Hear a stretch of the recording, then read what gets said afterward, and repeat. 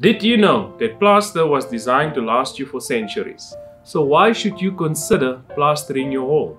The Vika plastering trowel helps you cover rough edges and uneven surfaces.